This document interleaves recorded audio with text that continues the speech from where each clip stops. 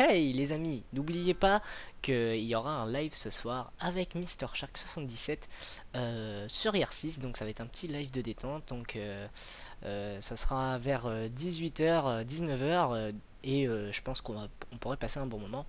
Ne ratez pas ce live, et venez nombreux, et à très bientôt.